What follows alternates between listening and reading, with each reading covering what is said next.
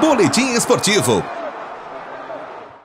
Ontem aconteceu o primeiro jogo da decisão do Campeonato Paulista da Primeira Divisão.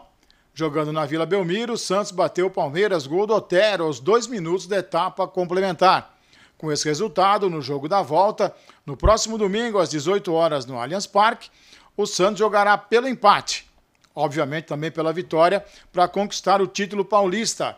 Já o Palmeiras resta vencer por dois ou mais gols de diferença para faturar o tricampeonato ou vencer por um gol de diferença e levar a decisão para a cobrança dos tiros livres da marca do pênalti.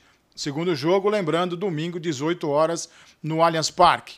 Campeonato Paulista, segunda divisão, a Série A2. Jogos de ida da fase semifinal. Chegou a hora da onça beber água. Vamos conferir o que aconteceu? Nós tivemos Noroeste Santista empatando sem abertura de contagem em Bauru. No jogo da volta, em Urico Mursa, no próximo final de semana, quem vencer garante o acesso, além, claro, de garantir a vaga na final da competição. Um novo empate decisão na cobrança dos tiros livres da marca do pênalti. Na outra perna da semifinal, em casa, na Javari, o Juventus perdeu para o Velo Clube por 1 a 0, gol do Caio Mancha. Agora na volta em Rio Claro, o Velo joga pelo empate ou pela vitória, obviamente, para garantir o acesso à primeira divisão.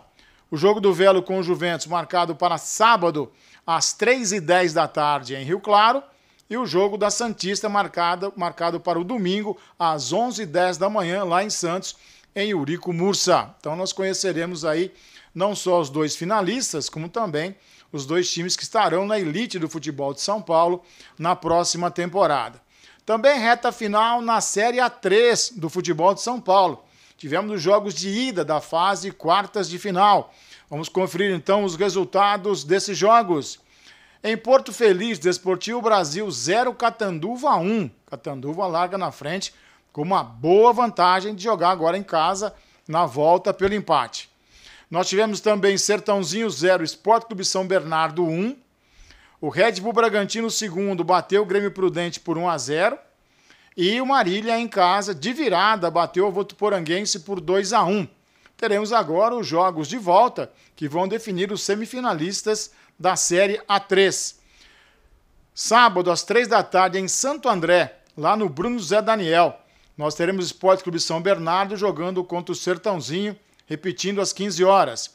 Às 17 horas, em Presidente Prudente, o Grêmio Prudente recebe o Red Bull Bragantino II.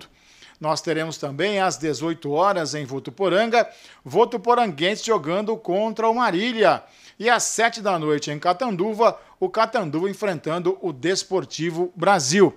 Falando também da Série A4, a quarta divisão do futebol de São Paulo, o Taquaritinga se classificou para as quartas de final, onde enfrentará o Rio Branco de Americana.